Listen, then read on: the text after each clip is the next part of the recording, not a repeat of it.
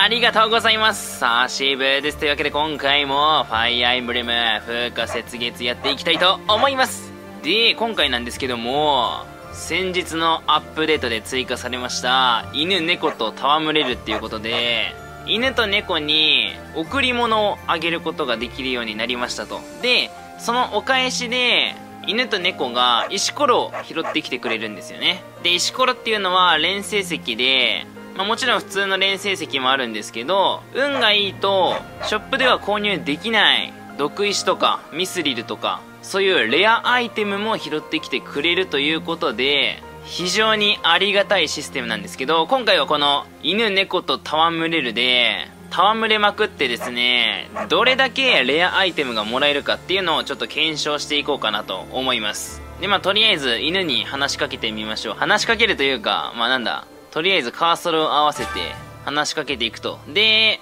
最初に話しかけるとこういう画面が表示されますと。大修道院内にいる犬や猫には贈り物で食べ物を与えられますと。で、まあお魚とか作物、お肉を与えられて、食べ物を与えているとお礼に何かくれると。で、まあそれが石ころになっております。この風化雪月というゲーム、主人公は何回でも食堂に行って何回でもご飯食べるんですけど、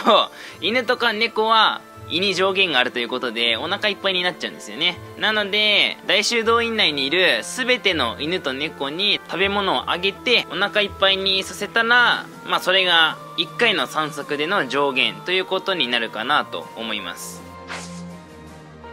で贈り物の画面がこんな感じなんですけどグレード1からグレード5までまあレア度が分かれているんですよね。でこのグレードでもらえるアイテムが変わる可能性がなきにしもあらずなんですけどちょっと何とも言えないんですよね。しかもこれ贈り物あげても100%お礼が返ってくるわけじゃないんですよ。そもそも返ってくるかどうかがまずわからない。で返ってきたとしてもいいアイテムがあったり悪いアイテムがあったり、まあ悪いアイテムというか、まあショップで買えるレア度の低いアイテムが返ってきたりとかあるので、まあ、結構運要素が絡んでくるんですけど、まあ、おそらくグレード高い贈り物をあげた方がいいと思うんですけど、いや、本当に何とも言えないんだよね。あの、普通にキャラクターに贈り物をあげるときは、キャラクターが好きか嫌いかっていうところが重要視されていて、グレードは関係ないんですよ、あれ。好きなものをあげればグレードが低かろうとやる気は50上がるじゃないですかでもキャラクターの嫌いなものをあげるとやる気ゼロなんですよねということで、犬とか猫はグレード関係あるのかな？ちょっとそこが何とも言えない。で、もしかしたら猫は魚喜んで、あの、他にもね、魚以外にも、果物とかお肉があるんですけど、犬は果物と肉の方が好むとかあるかもしれない。ただ現状ちょっと何とも言えないので、まあ、とりあえず、このグレード5のブルヘッドくんがめちゃめちゃ余ってるんで 今回はとりあえずこれで検証していこうかなと思います。統一した方がね条件が揃っていて分かりやすいと思うのでブルーヘッドで今回は大修道院内にいる犬猫全てにお腹いっぱいになるまで贈り物を届けてやろうかと思います。というわけでやっていきましょう。まず1回目。嬉しそうだと。まあこんな感じで必ずお礼をくれるわけじゃないんですよ。でくれる時はこんな感じで何かを加えている。お早速来たわ。びっくり。ミスリルを拾ってきてくれましたと。いうことで、運がいいと、こんな感じで、レアアイテムをくれると。魔法水晶はまあまあまあ普通にお店で買えるけど、お店で買える中では一番レア度の高い石ころですね。あ、これあれだな、加えてる時はなんか犬がジャンプするね。お腹いっぱいだわ。お腹いっぱいになっちゃった。5個しか食べれなかった、この犬は。まあ、こんな感じで、ちょっと犬猫に贈り物あげて、検証していきたいと思います。はい、というわけで、猫ちゃん見つけたんですけど、見えない壁があっていけないですね。こんなこともあるのか。はい、というわけで、2匹目のワンちゃん行きましょう。もうお腹いっぱい。このワンちゃんは3匹しか食べれなかったですね。はい、お次のワンちゃん行きましょう。このワンちゃん結構食べたぞ。結構食べたぞ。8匹ぐらい食べたかな。猫ちゃん。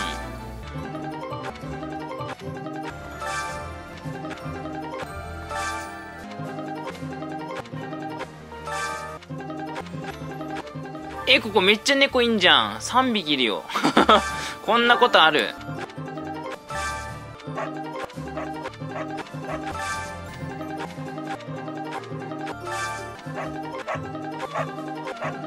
はい、というわけで、大修道院内にいるすべての犬、猫に、お腹いっぱいになるまで贈り物をあげてきたんですけども、全部で69回でした。ただ、犬と猫ってマップに表示されないので、もしかしたら見逃している可能性もあるんですけど、まあ大体1回の散策で、犬猫に贈り物を渡せる上限っていうのが70前後なんじゃないかなと思います。もちろん前後はすると思います。1匹に対しても1回贈り物あげただけでお腹いっぱいになっちゃう猫もいれば8回9回食べ物食べちゃう犬もいたしっていうところで結構ランダム要素が強いと思うんですけどまあ大体70前後かなっていうところで。まあ、少なくとも僕は69回贈り物をあげることができたということで一つの参考になれば幸いでございます。で69回贈り物をあげて何がもらえたのかっていうのがこちらになりますとやはり連成績が一番多いですね。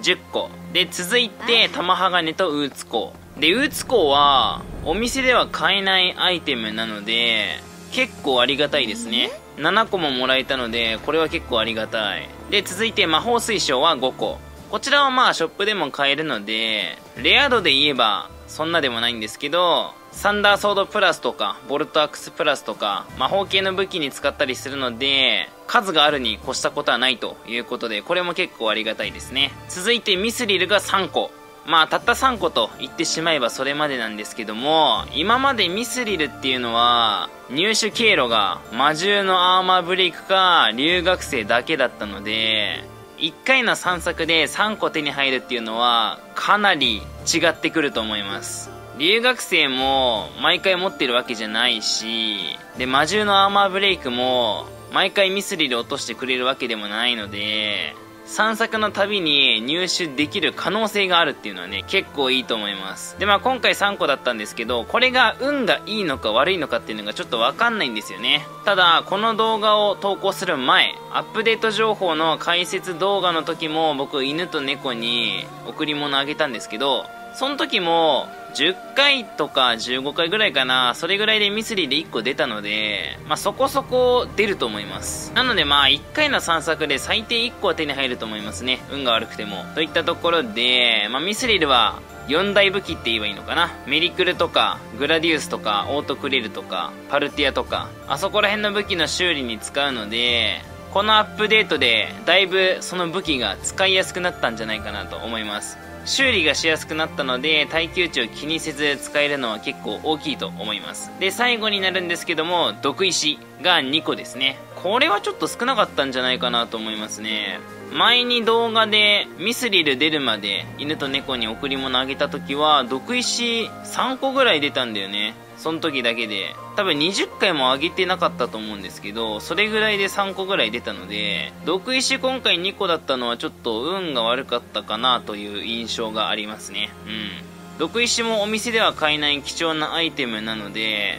できれば欲しい。ただ毒の武器が強いかと聞かれたら微妙なとこなんですけど、まあ、あるに越したことはないんでね。まあまあまあそんな感じで今回69回贈り物をあげてこれだけのアイテムが入手できたんですけどこれダークメタルとかは入手できないのかな？まあ今回69回しかやっていないので何とも言えないんですけど他の石ころは手に入らないような雰囲気を感じますね。実際どうなのかはわかんないんですけど他にあるのはダークメタルとアガルチウムですねまあアガルチウムはデビルアクスとか、まあちょっとマイナーな武器に使うものなので、そんななくてもいいかなって感じなんですけど、ダークメタルは英雄の遺産の修理に使えるので、まあできればいっぱい欲しいんですよね。なので、犬とか猫ちゃんからもらえるのであれば、非常にありがたいんですけど、もらえなさそうな雰囲気を感じます。ダークメタルはもしかしたら、魔獣か留学生からしか手に入らないのかなという